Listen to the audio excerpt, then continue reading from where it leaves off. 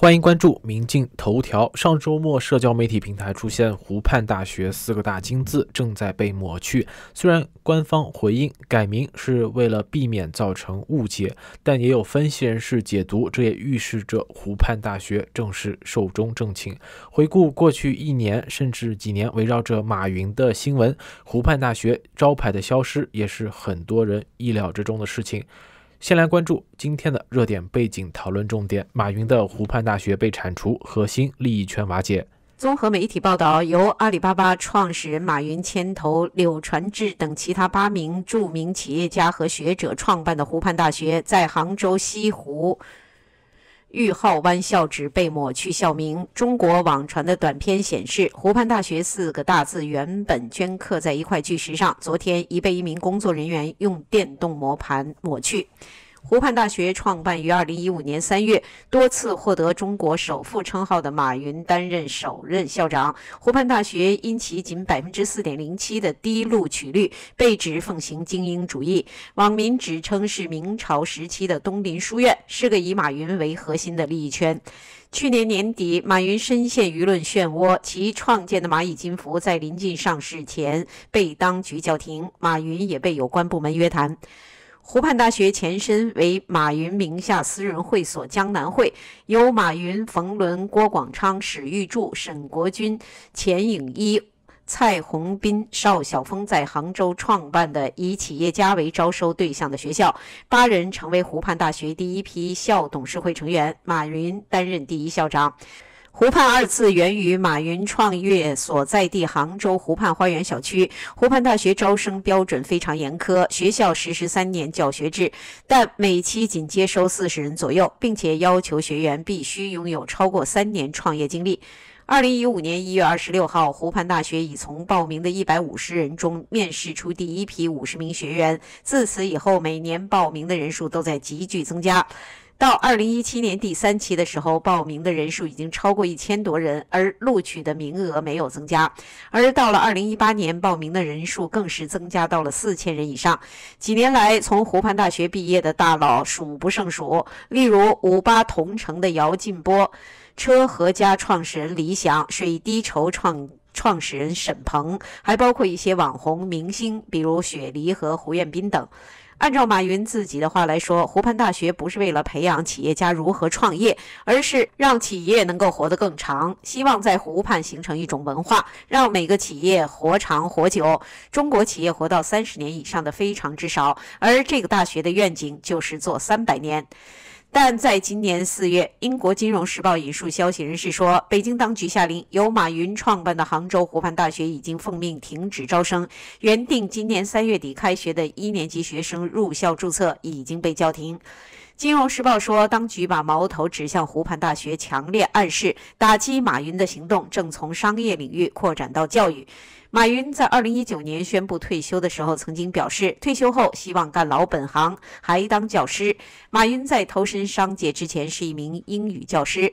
金融时报表示，湖畔大学之所以受到当局的限制，一个主要原因是当当局担心中国顶尖企业家可能会被组织起来实现由马云而不是中共设立的目标。在中国，中共明确宣布，党政军民商党是领导一切的，任何独立于党外的组织或团体都会引起中共当局的不安，他总要想办法将其置于自己的控制之下。金融时报引用熟悉湖畔大学情况的人士的话说：“政府绝不允许马云等人把这所大学作为培养信徒、扩大个人势力的工具。”马云早前因旗下的蚂蚁集团的上市被紧急叫停，阿里巴巴集团控股有限公司涉嫌垄断行为被立案调查。今年四月，中共市场监管总局指控阿里巴巴集团违反反垄断法。对其罚款一百八十二点二八亿元人民币，这是中共实施反垄断法后破纪录的最高额罚款。许多分析人士说，政府名义上是反垄断，实际上就是为了对阿里巴巴等科技巨头进行有效的控制。今年一月，还传出中国超级富豪俱乐部泰山会被解散的消息。消息称，泰山会已于一月二十号解散，并向有关部门完成注销泰山会有关登记手续。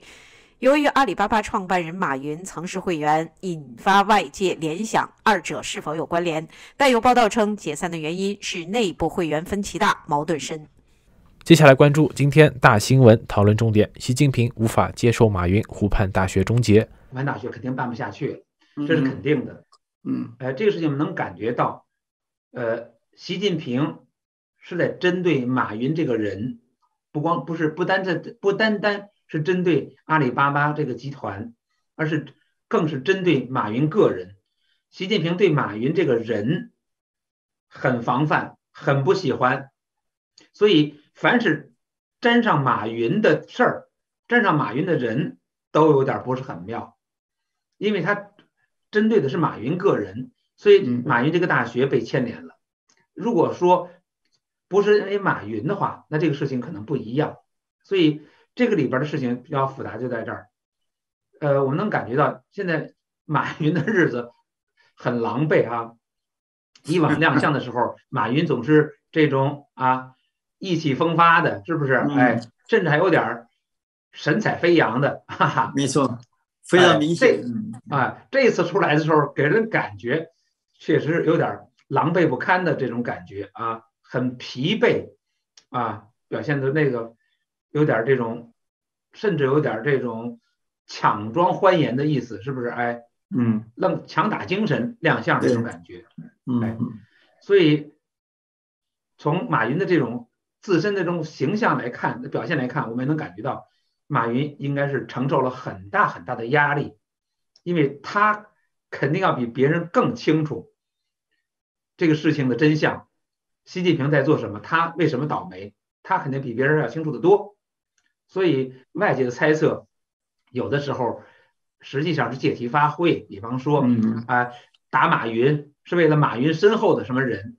其实马云身后的那些人，他们的这种顶多他们是借着马云捞点钱，但是就影响力来讲，没有任何人现在能跟马云身后的人能跟马云相相提并论的。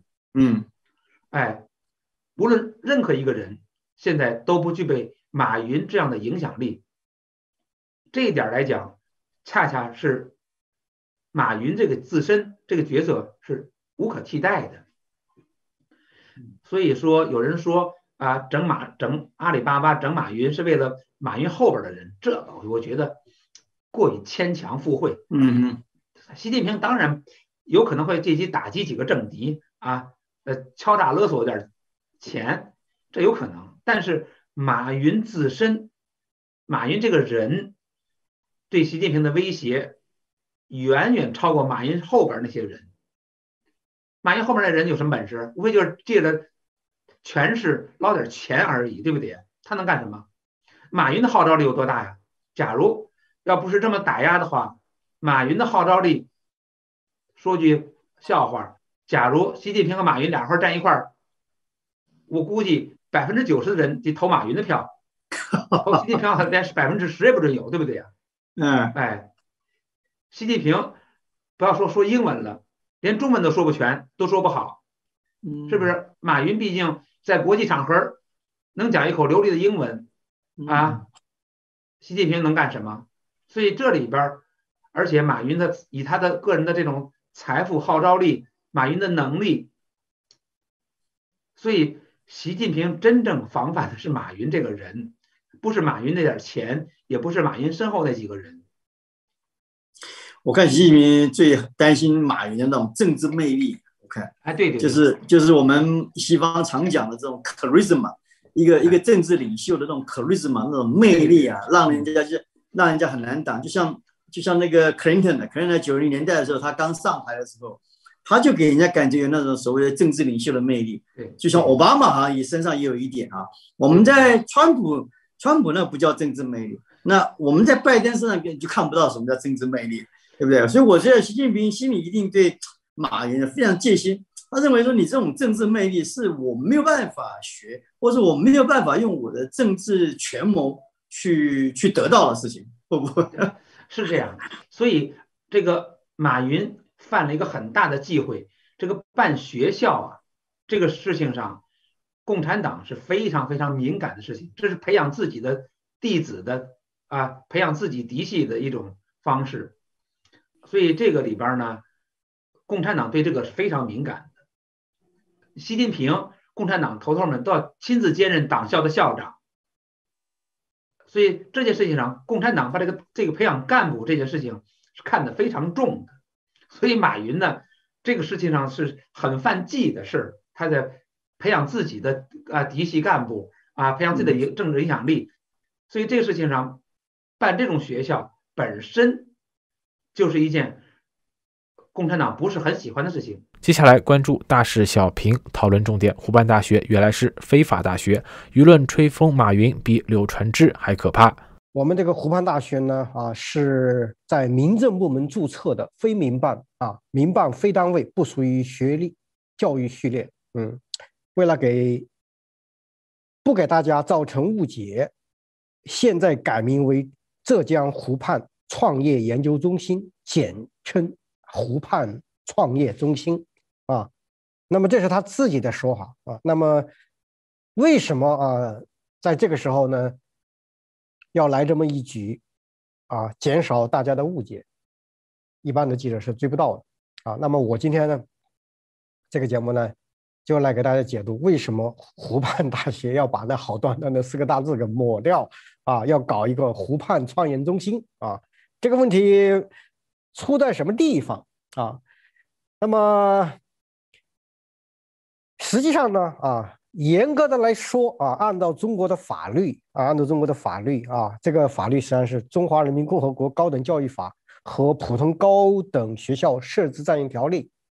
嗯，如果这个湖畔大学呢，它要属于学历教育序列呢，它必须跟着这个啊《高等教育法》和这个。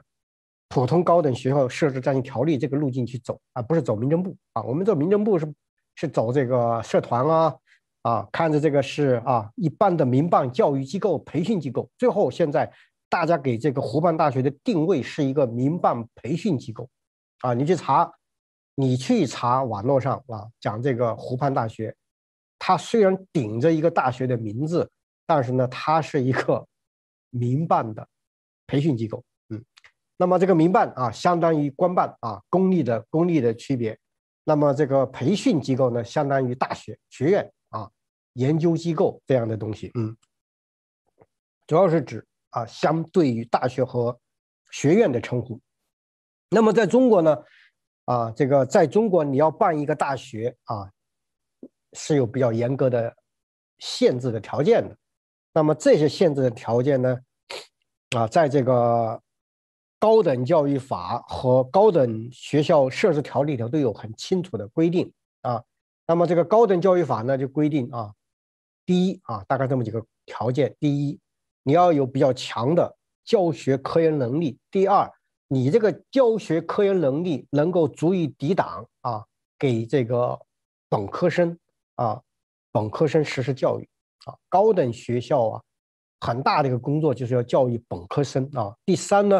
你如果要给本科生呢做教育呢，你的学校那个高大学的话呢，还必须设有三个以上国家规定的学科门类为主要学科啊，否则的话，你你没有资格教大学啊。我们就想想呢，马云这个学校有没有资格教大学？那么按照这个标准，压根儿就没有标准，所以说它是非法大学啊，这是没问题的。那么普通高等学校这个暂行条例呢，对这个。啊，设置大学的条件呢，啊，规定的更细一些啊。这个它细到什么程度呢？就是在文科啊，在文科含文学、历史、哲学、艺术啊，政法、财经、教育含体育啊，理科、工科、农科、医科八个学科门类中，有三个以上不同学科为主要学科，就是在八个里头你要有三个，你要作为主要的学科，你能培养本科啊。这个要求就比较严了，这是第二第二个呢啊，教学科研能力。第三个呢，全日制的啊，在校学生规模要五千人以上，你才能叫大学啊。三千人的规模呢叫学院，前面差不多啊。大学和学院的区别在人数主要上，嗯。那么这么一对照，马云的这个湖畔大学也够不上啊。我看有一篇文章啊，追这个马云的这个学校里的招生的情况啊，你看他招生的情况，第一届招生一五年开始啊，主要方向是互联网上的创业精英，录了三十六个人，三十六个啊，这里头有王立峰这样的名人啊，也有汪小菲啊这样的啊明星。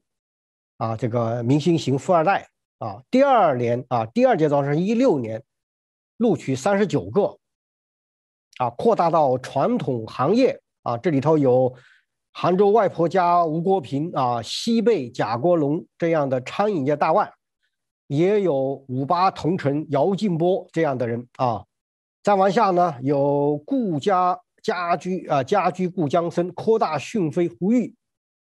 还有霍英东的孙子都给招进来了啊，富三代。那么一七年呢，他招了多少人呢？一千零八十个人报名，录取了四十四个。所以说他三届加起来的话，一六、一七、一八，哈，加起来的话呢，一百人都不到啊，四十四个，啊，三十六个啊，再加这个五十六啊。大概一百来人啊，他离这个学院大学的规模差得很远，差得很远哈。这个 Alex 说那些富人开的 EMBA 啊，都不是正经文凭啊，何况是湖畔大学。嗯，这个这个他连 EMBA 都算不上，EMBA 是个学院。啊，学院必须要有三千人的规模，从人数上他就够不着啊。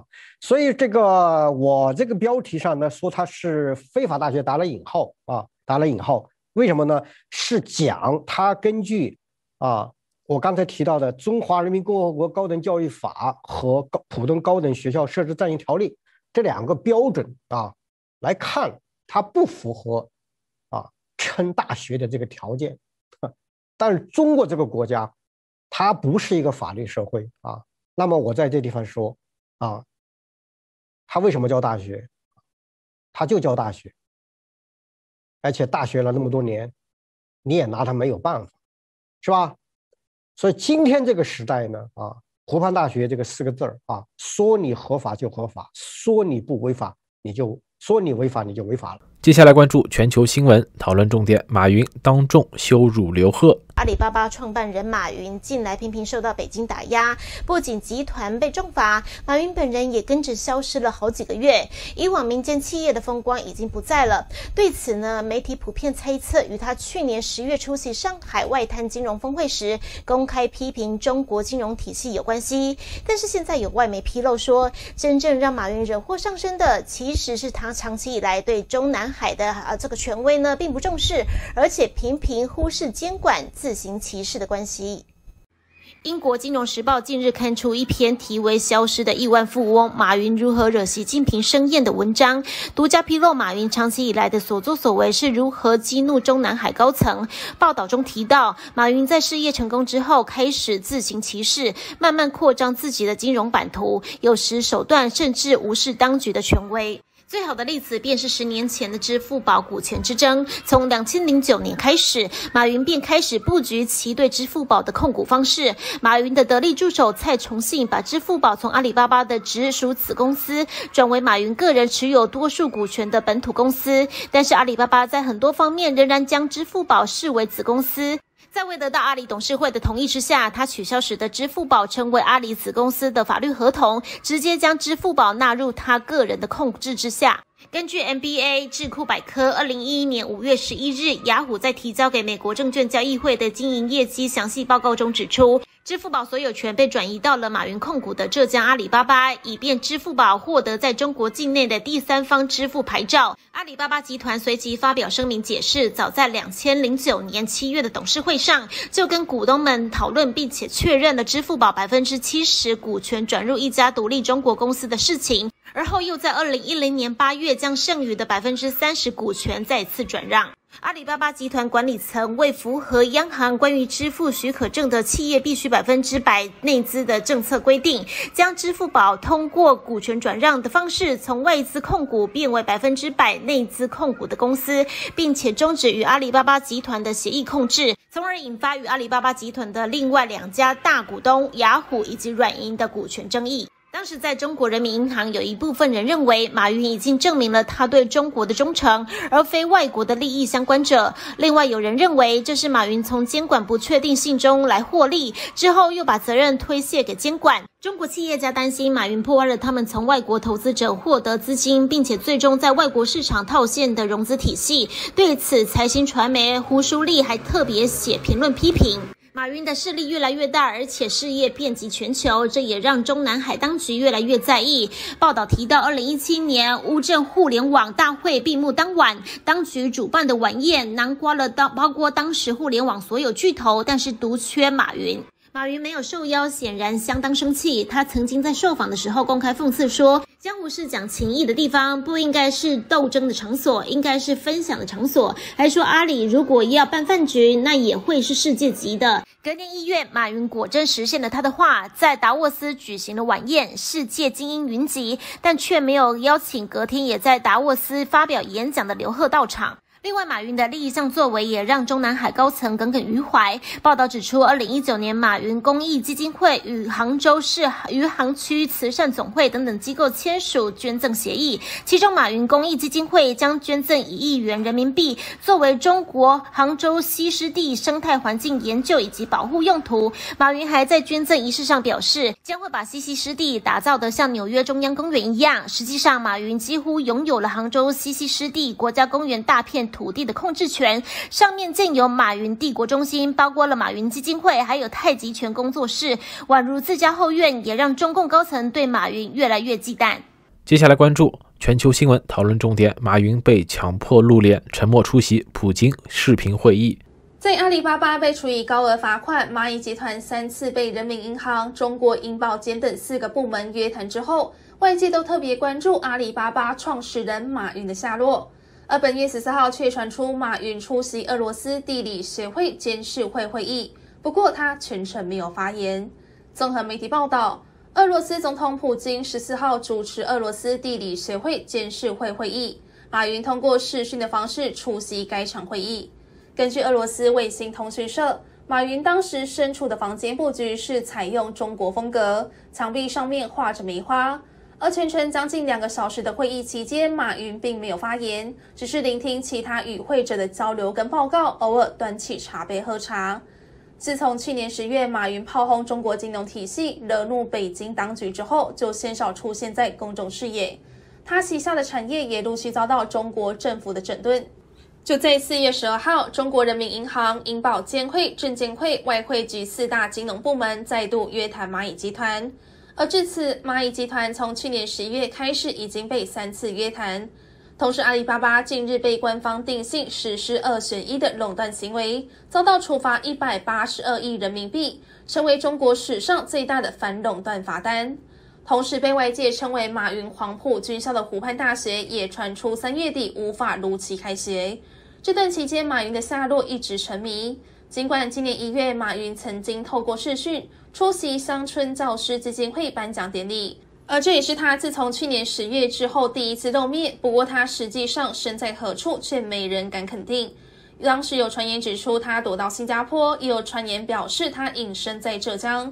直到今年二月份春节期间，流亡美国的中国富豪郭文贵爆料，马云早就已经被中共双规，被中纪委跟中央国家安全委员会软禁。而他一月份透过视讯露脸，其实是中共有意为之。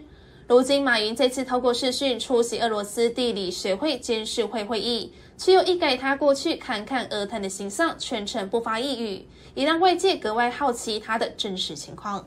接下来关注全球新闻讨论重点：上海帮才是目标，马云身后的势力。北京当局近日对阿里巴巴进行一连串的整改，继四月十日。对集团旗下电商平台的二选一行为，开罚人民币一百八十二点二八亿元之后，十二日再公布对蚂蚁集团的五项整改重点，包括要求蚂蚁转型为金融控股公司，以及接受相对应的监管等等。在连日重罚阿里巴巴，并且公布整改重点之后，中国官方并未再对腾讯等网络巨头开刀，而是给业界一个月的时间自行整改。历时将近半年的平台经济反垄断似乎暂告一个段落，网络平台野蛮生长的时代已经告终。关于这个现象，日本经济新闻编辑委员宗泽克二发表了一篇文章进行评论分析。中泽克二认为，北京当局对阿里巴巴的整改要关注的不只是罚款金额的大小。去年十一月初，阿里巴巴创办人马云和他实质掌控的蚂蚁集团相关负责人遭到约谈。当时正值蚂蚁集团即将于上海和香港两地上市之际。而且还募集了大约四兆日元规模的资金，这项上市计划突然喊停，至今仍然无法上市。同年十二月，当局第二次约谈蚂蚁集团，这次则是第三次。宗泽科认为，这类刻意大动作约谈行动其实是很不寻常的。阿里巴巴董事长兼 CEO 张勇表示，监管部门的反垄断处罚不会造成重大负面的影响。但相关人士透露，这些行动其实还有深刻的政治问题。分析指出，在共产党掌控下的中国，约谈这件事的意义和西方世界各国政府机关对企业的约谈不同。企业在中国遭到约谈，基本上就决定了企业与经营者的命运。如果约谈行动多达两三次，当事者通常已经知道自己一定会遭受重罚。宗泽克认为。北京当局这次对阿里巴巴做的事情，是一种近似反贪腐运动，进一步强化对于企业的控制。约谈的主体是政府机构，但中国其实没有任何一条法律规定当局可以做像十二日那样的约谈行动。这项约谈行动的依据，其实是去年五中全会提出，并在共产党中央经济工作会议决定的。强化反垄断和防止资本无序扩张这样的重点任务。简单来说，习政权就是将反腐败运动的想法强迫套用在民间企业上。有习近平作为后盾，当局就可以更严格的实施各项规定，即使是重量级的政治人物，也可能遭到举发、中箭落马。反垄断法其实是极少用的传家宝剑。但北京当局突然对阿里巴巴开闸，刻以巨额的罚金。事实上，马云等人并没有犯下新的错误，他们被罚的行为是过去一直以来都有的，而且是中国政府允许的。原因就在于共产党想要加强控制民间企业，这也与习近平想要长期执政有关。习近平推动反腐败运动八年多以来，成效良好，铲除了许多政敌。也巩固了他在共产党内的政治地位，但是共产党在经济界的统治力不够强。习近平其实在二零一四年的党代表大会上就想要控制包括民间企业在内国内所有的组织，可惜成效不彰。习近平对于追求经济利益与自由的民间企业感到十分警戒。接下来关注。新闻联报讨论重点：马云再挨中共一刀，湖畔大学被禁招生。阿里巴巴集团创办的马云，自从去年被中国政府盯上之后，就开始风波不断。最新消息是，北京当局要求由马云担任大学校长的湖畔大学必须停止招生。综合媒体引述英国《金融时报》，知情人士透露，湖畔大学校方已经暂停原定三月底开始的一年级课程。目前还不清楚新生入学报名将会何时进行。不过，现有学生开设的课程将会如常进行，学校部分也不会永久关闭。目前关于这个消息，学校方面跟阿里巴巴集团暂时没有公开回应。不过，这并不是湖畔大学晋祠第一次遇到波折。去年十二月的时候，湖畔大学云南分校原定跟云南昆明市政府合作，之后招标计划却突然叫停。外界当时分析，应该是跟马云得罪政府高层有关。在那段期间里面，蚂蚁集团 IPO 也被叫停，并且遭到中国监管机构调查。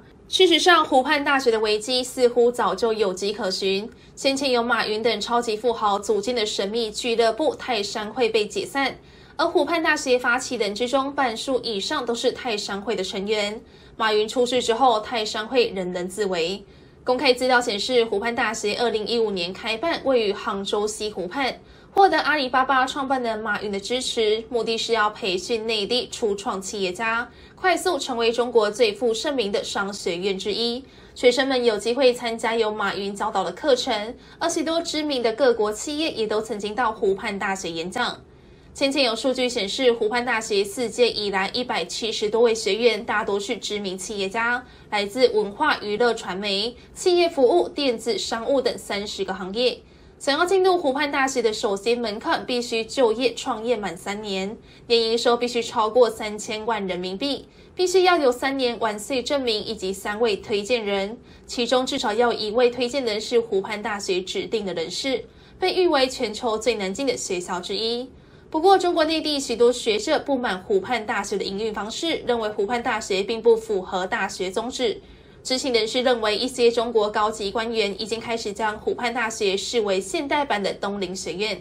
东林学院曾经培育出志同道合的思想家，而这些思想家随后就影响明朝政治，并且削弱明朝政府。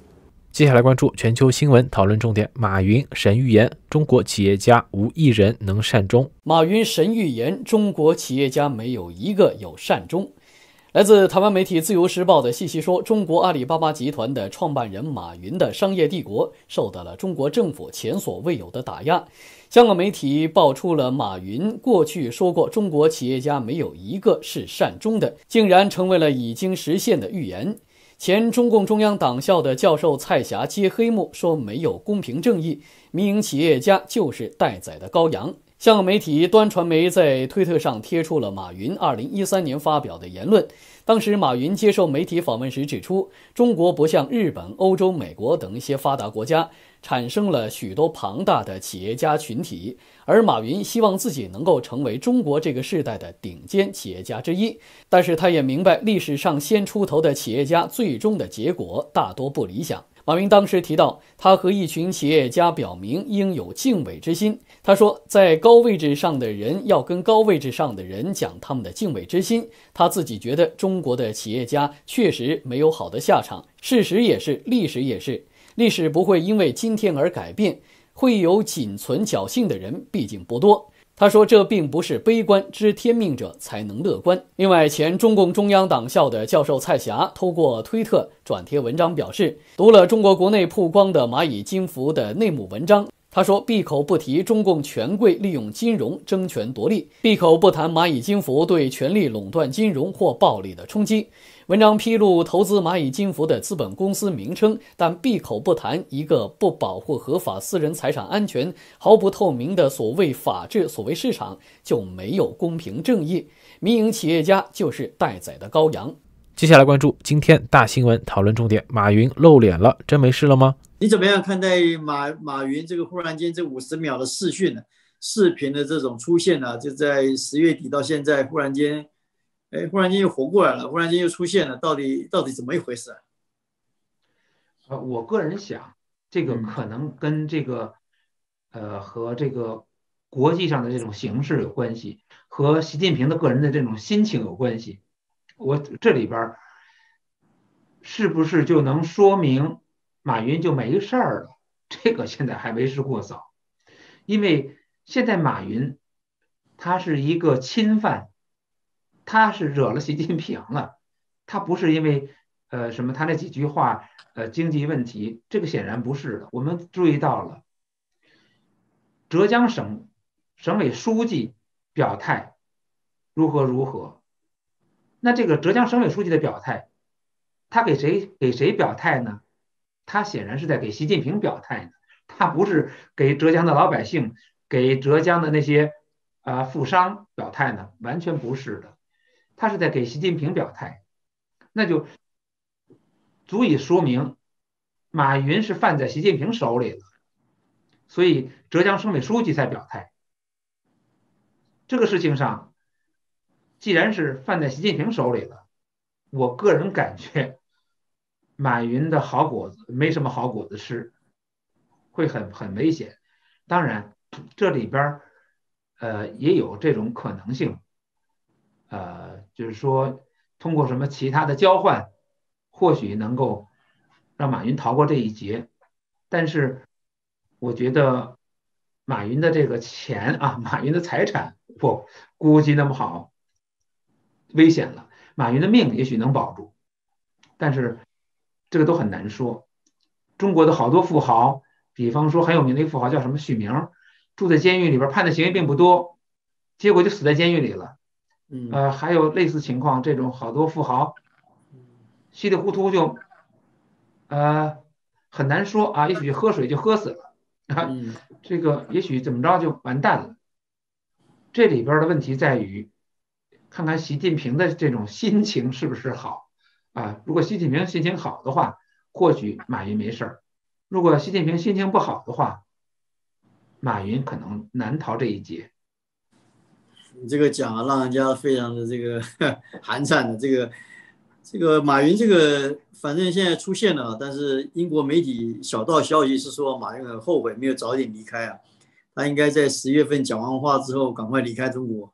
显然呢，显然现在马云人应该在在在中国啊、所以并并不如外界之前所讲的，可能已经已经离开中国，在美国甚至在纽约了哈、因为他纽约买他在纽约上周买一大片这个森林保留地啊，我是我是不晓得他买这块那么大一批地是要是要做什么用的，我也我搞不清楚。那所以你的看法是，马云到底他自己的安危可能要由习近平来决定？那对蚂蚁金服甚至对阿里巴巴未来的发展呢？未来企业发展，你觉得会有影响吗？还是？这是肯定的。现在可以这么说，这些企业发展到这个程度的时候，他们已经他们的影响力已经远远超出这种企业的范围了。他们已经拥有了巨大的社会影响力、巨大的政治影响力。习近平这个人有特别强的这种危机意识，有特别大的这种危安不安全感，所以这个时候你很难说。什么事情上触动了习近平哪根神经了，让他很敏感，让他很担心。所以这个时候，有的时候外界可能觉得这件事情不应该呀、啊，但是在习近平这儿就应该就可能。就像您刚才提到的，马云后悔，其实马云早早就该离开中国了，他辞职的那一天就该离开中国了。所以他这个人，应该说他对中共、对习近平的这种了解还是很肤浅。